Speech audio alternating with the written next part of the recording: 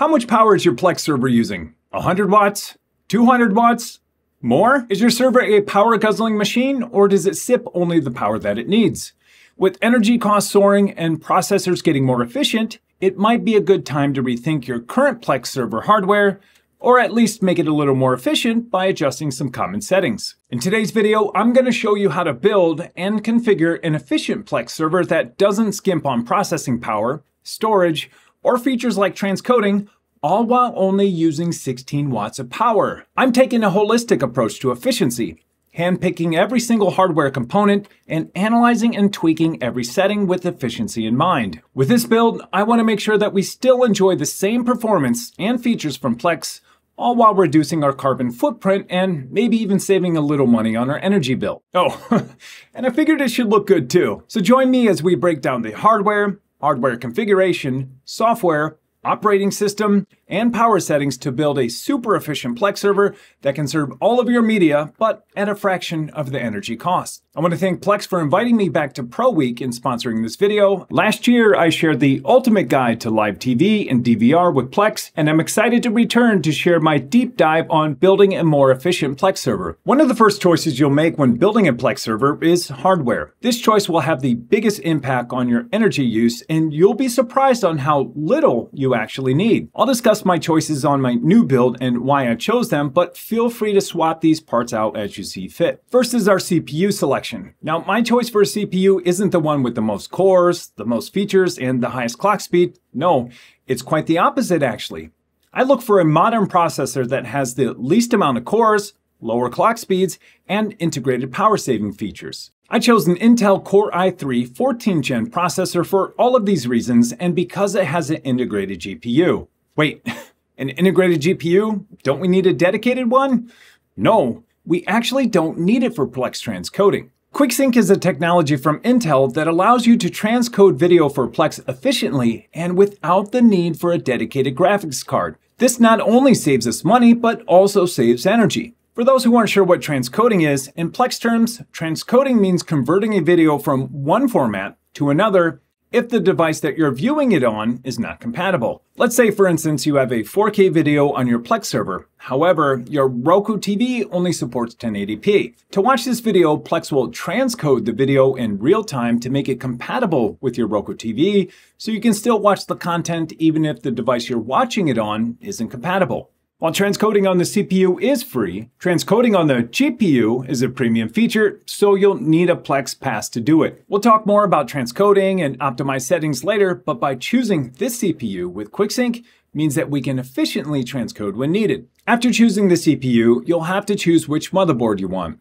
You have a variety to choose from, but you'll just want to be sure that it matches your CPU socket. When choosing one that's low power, I often look for one that's smaller, has less components, and limited expansion slots. This ensures that there aren't any components being powered that won't be used. You'll also want to be sure that it has enough ports for your drives. I ended up choosing a micro ITX board because there typically isn't any wasted space on these boards. This board that I chose from Asus fits the bill. It has four SATA ports and two M.2 slots, which should be plenty for our Plex server. Now we do have a PCI Express slot that you can see here at the bottom that won't be used, but that's less than the three to five you typically see on other boards. Plus, it's good to have one slot just in case you need to add more components like drives or graphics graphics cards later. Next is RAM selection, and it's pretty straightforward.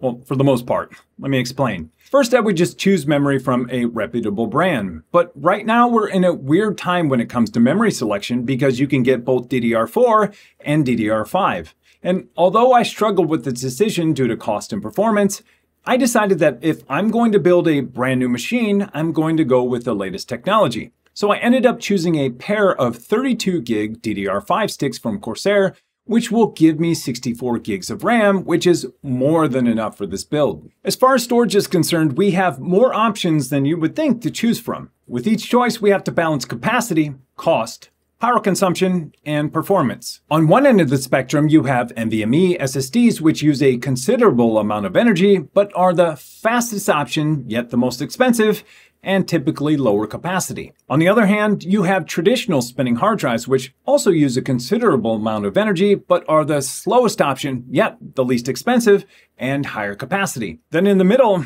you have SATA SSDs, which offer much less power usage than the other two. They're medium speed, medium cost, and medium capacity. This choice really comes down to how much you want to spend on storage. I think for my build, I'm going to use an NVMe SSD for the operating system and applications, and a traditional spinning hard drive for bulk storage, which is my Plex Media library. Now, I'm only using one spinning hard drive, but you might want to add another hard drive to mirror your data in case one of these hard drive dies, or at least back it up to another machine. Another consideration when building a low power Plex server is the power supply itself. Power supplies come in a few shapes and sizes, but one thing you'll want to consider is the energy efficiency rating. This rating is something you'll find on all power supplies, and it goes from a plus rating at 80% efficiency all the way up to a titanium, which is 94% efficient. The higher the rating, the more efficient, and the less heat it generates when converting power from AC to DC. The price also increases the higher the rating you go. I ended up choosing this small form factor power supply because of its platinum efficiency,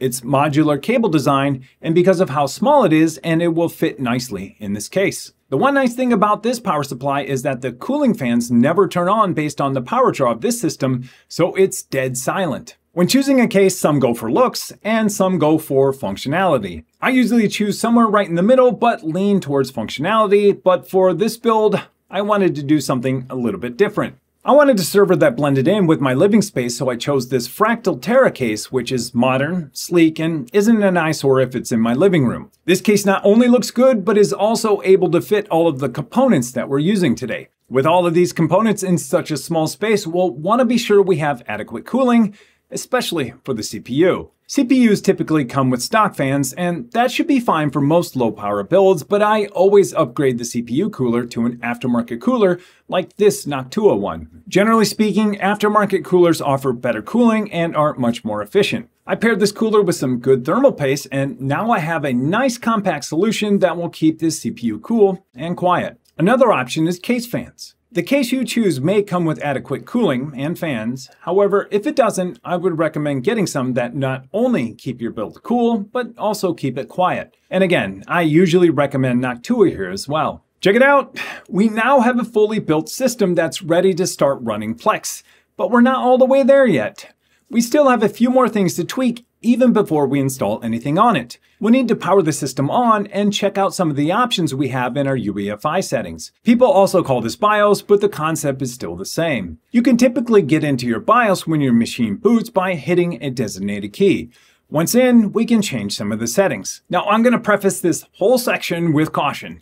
You should only change these values if you know what you're doing, and most of the things I configure only give me minimal gains. These settings are also not available on every motherboard, so change these at your own risk, and when in doubt, just keep the defaults and skip this section altogether. Now, with that out of the way, one of the biggest gains you're going to get is just by updating your BIOS. You'll want to check with your motherboard manufacturer on how to do this. After updating the BIOS, here are the things I look for to adjust for a low power system. First, if you're using Intel, I make sure that speed step is turned on, and if you're using AMD, make sure that cool and quiet is turned on. This ensures that the system can adjust according to load. I also make sure that the fan control is set to smart based on temperatures, but I skew towards silent. I disable multi-threading or hyper-threading, and I disable turbo boost because I don't want my system to clock higher than the base clock speeds. This saves power consumption with very little impact on performance. For really advanced users, if you have a motherboard that supports it, you can also underclock your CPU and memory speeds resulting in less energy use and much cooler temperatures. Beware though that this can also affect stability and we'd rather have a stable system than an unstable system. There might be other settings your motherboard supports like USB power management, thermal throttling, and many other settings which may or may not have an impact. The CPU, RAM, and fan speed settings are where you're going to see the most energy saved, so I would probably stop there. As far as operating system selection goes, you have quite a few options here. You can go with a Linux server or Linux desktop if you want to stick to an open source build, or even a NAS operating system if you want to use it for multiple purposes, but for this build, I'm going to go with Windows to see if I can tune it, not only to be efficient, but also performant. Again, feel free to choose what works best for you. By the way, I did test the power settings with Linux too, so I'll have some comparison on how Windows did versus Linux later on. Once you have Windows installed, you'll want to be sure that you have the latest drivers. Your motherboard manufacturer should have them for you, but I've also found that the Intel Driver Assistant and the AMD Auto Detect tools might have more current drivers for your system. Windows does have quite a few ways to manage power for all of our devices, but before we dive into some of the traditional ways of managing power, let's start by disabling some devices. If your motherboard has Bluetooth, Wi-Fi, and possibly NFC, and you don't ever plan on using them, you can easily disable all of them by simply turning on airplane mode. This is a simple way to toggle off all wireless communications. You can also turn these off in UEFI or BIOS settings, but doing them here in Windows makes it easier to toggle them back on if you ever need them. I would also recommend unplugging any USB devices that aren't being used, but only after we're done configuring a machine, of course. Windows makes it really easy to change your power plan settings with their new energy recommendations. However, we want more granular control over these settings. So rather than have Windows do this for us, we'll create our own custom plan. You can find this by searching the Start menu for Power Plan and clicking on Choose a Power Plan. Once here, rather than editing an existing, let's create our own plan. Let's base the plan off Power Saver Plan, and you can name it something like Max Power Savings. We'll want to turn off the display after one minute and never put the machine to sleep. If our Plex server went to sleep, we would no longer be able to access our media, so we want to be sure not to enable sleep or hibernate. Once created, let's change the plan settings and change the advanced power settings. As far as hard drive sleep goes, I feel that 20 minutes is pretty good.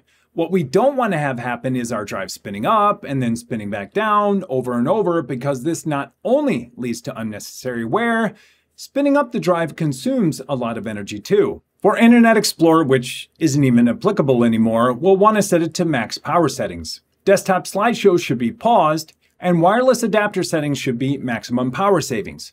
If you've already disabled your Wi-Fi adapter, you don't really need to worry about this step. Sleep and hibernate settings should be set to never because we don't want our Plex server to go to sleep, and USB suspend should be turned on so we can disable USB ports that aren't in use. For the Intel graphics settings, you can set this to maximum battery life. However, this shouldn't have any effect on our desktop system since we aren't running on battery. You can also set the link state power management to maximum power savings. Now, this might have a performance impact on our NVMe drives that we're using for our OS, but it should be minimal while keeping our power usage low. Also, we aren't populating the PCI Express slot, so no effect there. The next couple of processor settings are related to Turbo Boost. If you remember, I disabled this in our UEFI settings. However, if you didn't, here's where you can control it. Many recommend that setting the maximum processor state to anything less than 100% should disable Turbo Boost on our CPU. Since I have it disabled in BIOS, I don't need to configure it here. However, if you set it to 99%, you'll see that the turbo is essentially disabled. I would only tweak the setting after Plex is set up so you can see if it has any impact on your Plex experience. Continuing on, we'll want to turn off the display after one minute of inactivity. And for the multimedia settings, which don't really apply, we'll want to set them to prevent idling to sleep, video playback power savings bias, and optimize power savings. These really don't apply because we're never going to sleep and we're also never going to be playing a video locally in a desktop environment. At this point, we have our hardware working great, our operating system tuned, and now it's time to download and install Plex and configure our media libraries. We don't really need to do anything out of the ordinary here. We can follow the instructions on Plex's website. One thing to note is that you will want to install Plex on your fastest hard drive, which in our case is the NVMe drive. This will help in two ways. One, it will ensure that our media library metadata is on our fastest drive so that browsing our media is fast and responsive. Two, it will ensure that our media disks can go to sleep or spin down to save power when they aren't being used. Once Plex is installed, configured, and running, we'll want to go to our Plex server in a browser and go to Settings. So head down to the transcoding section on the left. Now, before we make changes to transcoding, it's a good time to mention that the best transcoding is no transcoding at all. So what do I mean by that? Well, whenever possible, we want to direct stream our media. This means that both your media and the device that you're using to view the media support the same codec, so no transcoding is needed at all. This is the ideal scenario because it doesn't need to transcode video while watching, which means it will use considerably less power. However, when we do transcode, we still want to make sure that we're doing it on the GPU whenever possible, since it's much more efficient than transcoding on the CPU. We can adjust these settings in the transcoder section by showing advanced settings. Now, I set the quality to automatic, which will let the server select automatically. I haven't seen a need to change this, and this is the recommended setting by Plex. I set the background transcoding to very fast.